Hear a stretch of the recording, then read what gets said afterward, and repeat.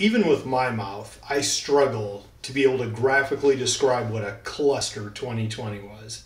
But nonetheless, here's my annual wrap up of events as we put 2020 in hindsight where it belongs.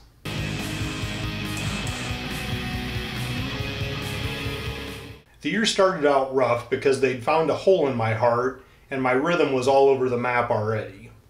I did pick up a cool watch early in the year that's actually made out of 1973 Porsche parts, which is also my birth year. Especially because of the heart problems, I made a real effort to swim every morning and lift at lunch to keep my heart as healthy as I could until we figured out what to do with it. I got a reminder of how complicated girls are compared to guys when I populated my spare bathroom for Brienne. There was some false hope in January as I registered for a March Texas mile that was never going to happen and my bike wouldn't have been ready anyway. I did get some fun drives in the hill country in both the 911 and the Cadillacs. In late January, I had my first cardioversion to try to reset the rhythm that lasted about a week. In early February, after almost two years, my bike arrived at the local BMW dealer, but wasn't so much as starting or running. Fortunately, I still had a chopper and an Aprilia that I could enjoy. I didn't realize it at the time, but when I took Baron out for a bite, that would be our last time in a restaurant all year.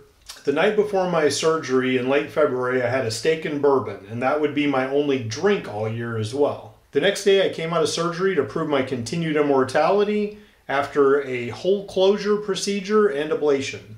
All I'd be doing is walking for a while, but that was better than nothing. This is about the time Corona hit, and I had to start making decisions on what was worse to skip appointments or to risk COVID. In early March, I made my last trip to a grocery store and started getting everything delivered at home. Later at my follow up appointment, I was told that the hole in my heart had actually been a third of an inch, which is pretty good size for a fist size organ. I was getting to the final stages of my movie production and starting to record the voiceover picked up and modified a new decoration more appropriate for my garage.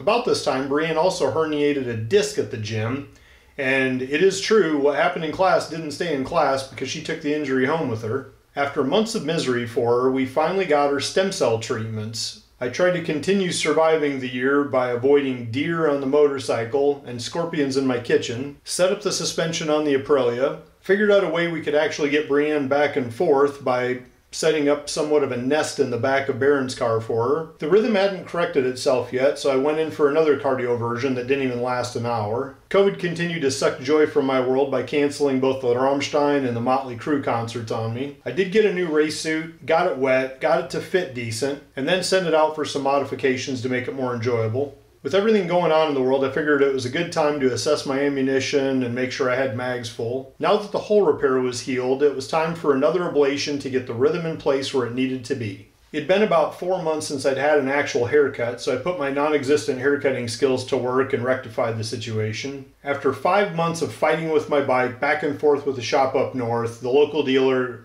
just sent my bike back home because they couldn't do anything more with it. I found an actual competent shop up in Dallas and sent him the bike, and he had it running in several hours. With the pandemic going on and my ample extra time, I recorded Pandemic Patience and posted that video. By far the biggest accomplishment of the year is I released the movie that I'd been working on about my cross country motorcycle record, both in DVD and Blu ray, and shortly later on Amazon. There was threats of a meat shortage, so I figure I better update my archery kit just in case I had to go pluck a deer from suburbia for dead animal. Even though the bike was back home and running, it couldn't make it two miles from home without something happening. First, I had it back apart to replace the starter clutch, then the battery died and left me stranded. Valentine 1 released a new Gen 2 radar detector everybody was excited about, so I bought one for the Aprilia.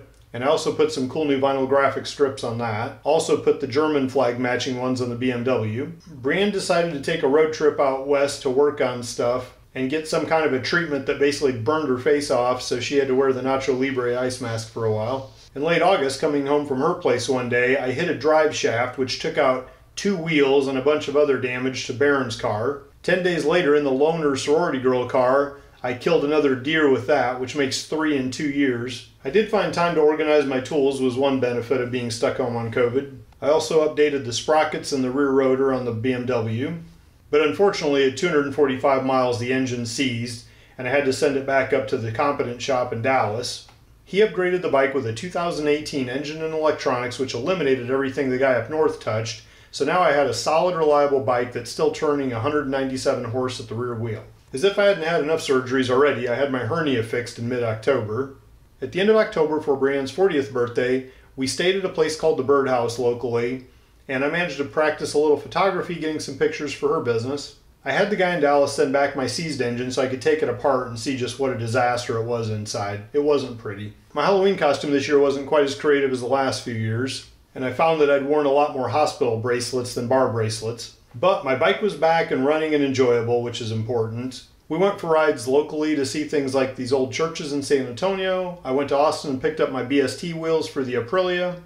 I also upgraded the BMW with things like a polished swing arm, Öhlins front forks and rear shock, and I sanded the tank down by hand to raw aluminum and polished it to match the rear swing arm. Not only was I able to start kickboxing again after my hernia healed, but in December I was actually able to find a way I could safely swim at the gym with direct access to the pool at 4 a.m. when nobody else was in there. I hadn't put on many miles this year, so I decided to take a road trip for dual purpose.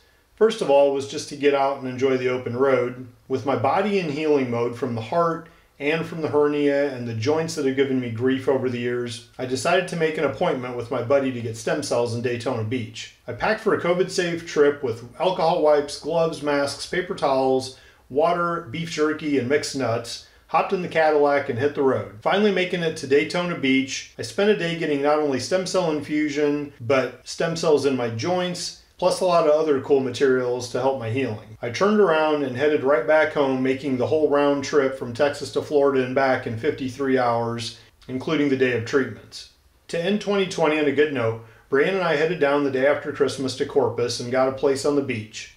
It was a great few days to try to relax and unwind after such a hectic year. We had a loaner Cadillac because mine had a little bit of damage after the trip, but it's back in the garage now, several thousand dollars later. In true 2020 form, about the day after that came back, my Valentine 1 in the Baron's car broke and had to replace that. Then the next day, my MP3 player for the pool died on me. 2020 is definitely finishing strong. But that's fine, because right now, the Cadillac and the BMW are both home and 100%.